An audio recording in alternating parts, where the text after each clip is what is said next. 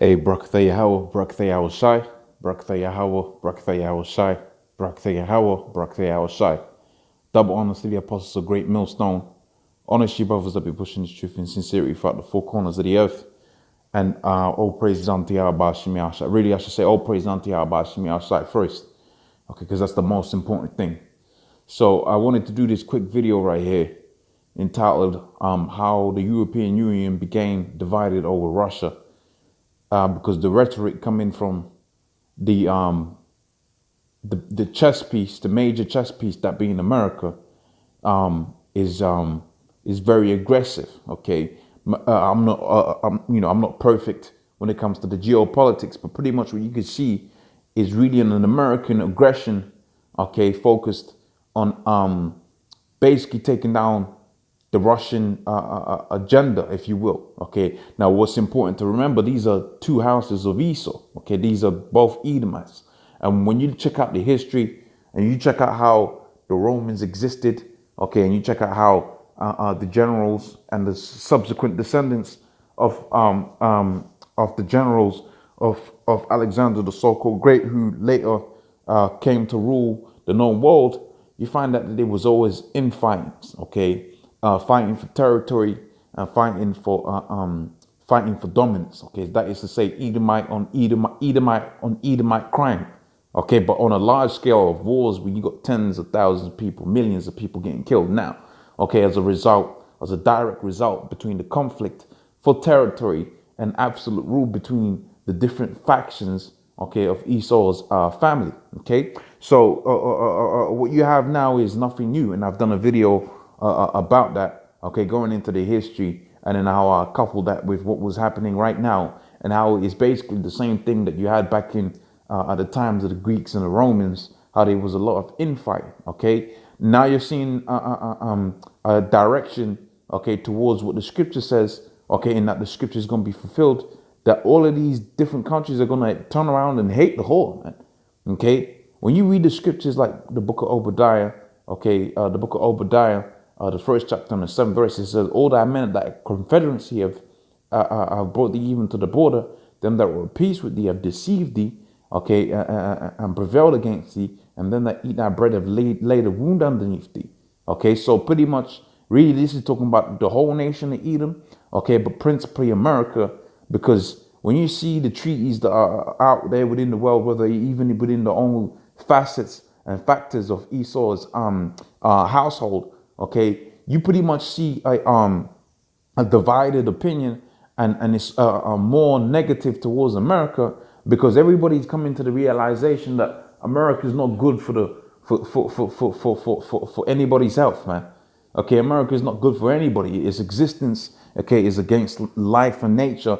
And when you read the scriptures like the book of Jeremiah, okay, the 51st chapter, you, you get to finding out the nations have gone mad, okay, uh, uh, uh, this capitalistic, okay, um, life endangering, okay, a cycle that we've been um, pushed into as a result of having America as the spearhead and the standard by which people live. Okay, Jeremiah, the 51st chapter, and the first verse says, for, uh, um, uh, and the seventh verse says, Babylon hath been a golden cup in the Lord's hand, and has made all the earth drunken. Okay, and the nations have drunken enough of wine because the nations are mad. So you're seeing it to where uh, uh, uh, these nations of, are going crazy, man. Okay, you compare their their social construct in comparison to, to hundreds of years ago. They were more they were more in tune with life back in the day than they are now. Okay, you know, people are people are actually about death right now. That's because you got it to where the enemy of the world is in rulership right now. The enemy of uh, of life is in rulership right now, and the Most High is seeing it, and the Most High has laid a wound underneath it, even to the end that the whole house of Esau is even divided. Okay, one side is going uh, uh with Russia, as you're going to see here, and you got it to where another side is, is wanting to go with, with the right of America. Now, on the surface level, that's what it looks like, but we know on a deeper level, this is what it's been set up by the banking elites that pay off both sides of the house of Esau to fight up against each other. And out the ashes of, of, of the existing world, they want to rise up and rule a, a, a hegemonist uh, a hegemony, if you will, okay, a conglomerate of, of, of the world, and rule it uh, with absolute authority. Okay, but you're gonna find out this whole infighting between how uh, the, the house of Esau and who's gonna rise up out of it. You're gonna find out it's gonna be the Israelites that's gonna rise up out of it. Okay, you're gonna to where all of these nations are warring against each other, where nobody's considering the the uh, apple of the Most High's eye, that being the twelve tribes of Israel. Okay, this is the apple of the Most High's eye, and you're gonna see they're gonna have the upper hand, and it's gonna come about by the most unexpected of ways. Okay, because we ain't got no army. Okay, we ain't got no uh, uh, uh, a seat at the UN, but we're gonna be the ones that win out the so-called thing of the UN. And you, you got it to where the elite banking families are working towards a new world order, where really the High is working towards a new world order. Okay, Wherein he's gonna dwell righteousness.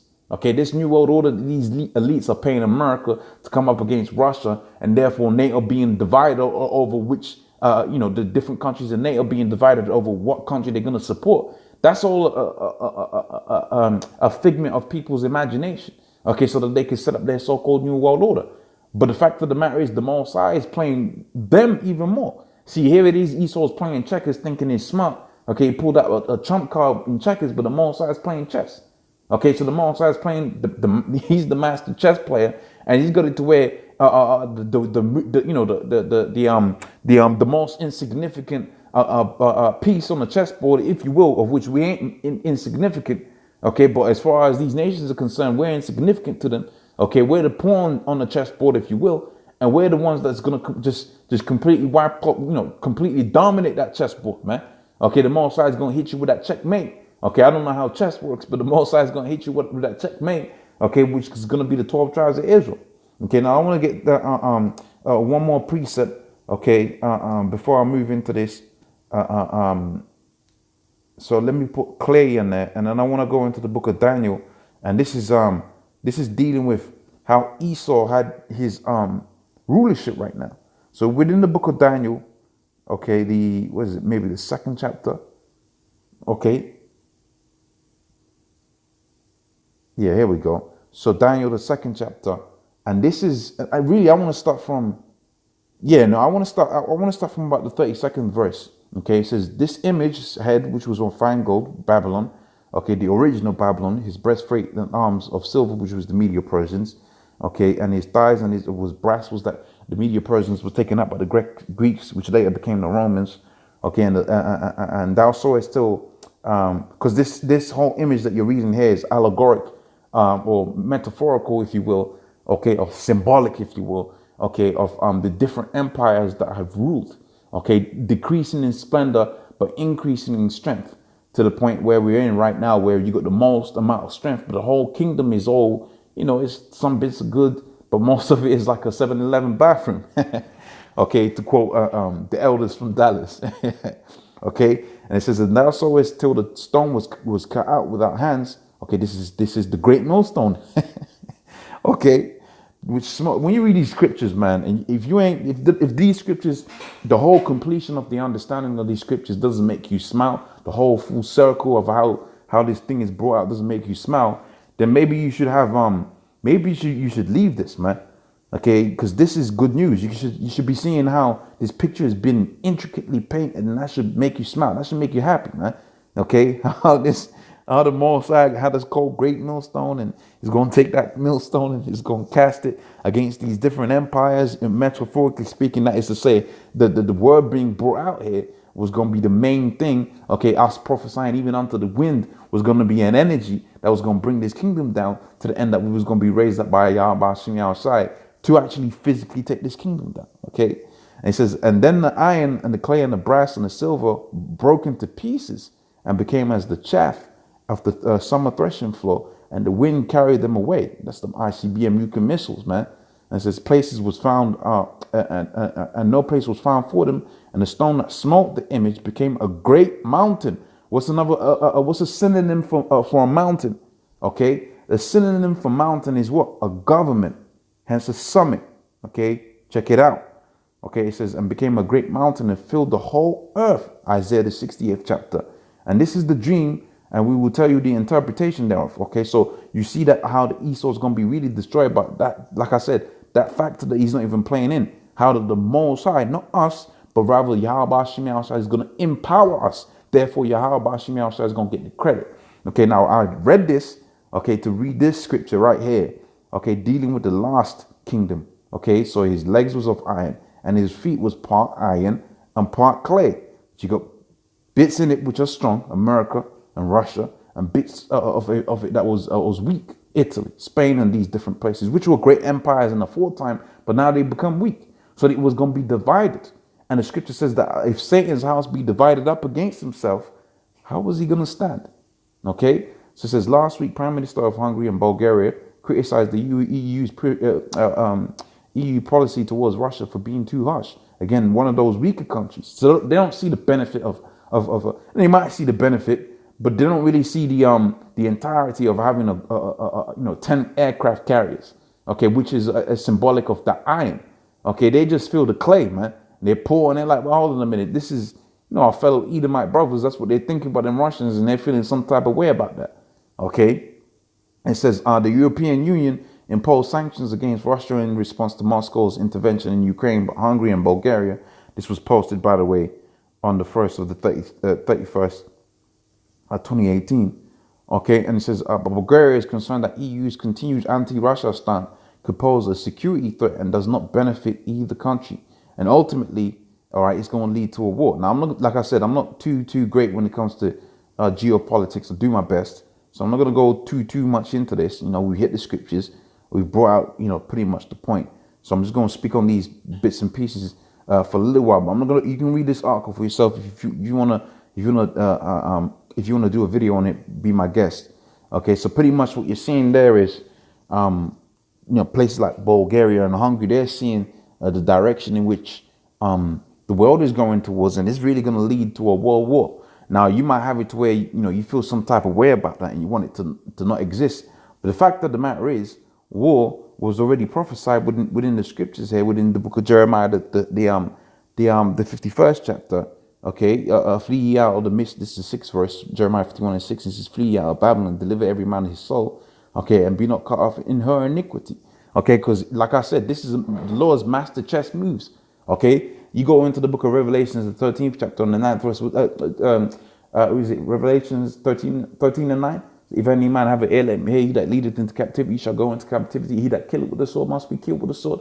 So in the greed of Esau in trying to expound, and we're talking about the, the, the American Edomites, okay, in their greed, they've tried to, uh, uh, uh, really the elite banking families even, okay, they've tried to have a war play out between both houses, their own houses, okay? And then in, through that, through the chaos of all of that, they was going to have what? They was going to have a new world order being established upon the earth. Okay, but through all of that, really, the most I was going to judge him for the first wickedness that he did. Okay, which was to hate his brother and ultimately kill his brother in all of the different iterations on which this Greco-Roman Empire has existed. And as a result, you got it to where what the scripture says that the Messiah is going to uh, uh, uh, um, cut off Babylon for her iniquity. For this is the time of the Lord's vengeance, and he, he will render unto her a recompense. Okay, God, Babylon has been a golden cup in the Lord's hand and has made all the earth drunken and all the nations drunken, and therefore the nations are mad. They're going crazy, man. Okay, now as a spiritual man, okay, you should be able to look at this scripture and apply it to the times that we're dealing with right now, and you'll see that the shoe fits. Okay, because you got some assholes out here that's that'll just you know, oh, that's talking about the history. But when you check out these prophecies, some of these prophecies, and you know, Babylon has been a golden couple in the Lord's hand, and flee out of Babylon, etc., etc.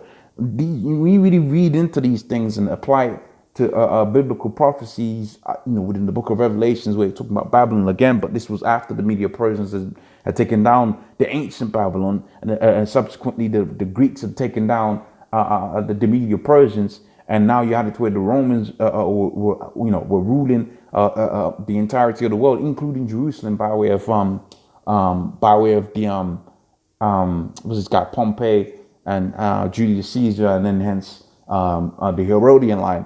Okay, you had it to where um, all of these, you had it to where they, they, they were um, ruling the world, and even within the time of the Romans, you got it to where John the Revelator is talking about Babylon. You got to come to the conclusion that some of these precepts that you read in here really are applicable to uh, uh, uh, to the times that we live in right now within the modern iteration of Babylon. Okay, so hopefully that was of edification. Hopefully my thoughts uh, uh, uh, my sayings and my words, you know, were um, in alignment with each other. That is to say that it made sense Okay, again, you could do a video on the article for yourself if you wish. So that I'm gonna say, all praise unto Yahweh Shemi Shai. Double honors to the apostles of great millstone. On Shiba will be pushing the truth in sincerity. Shalom.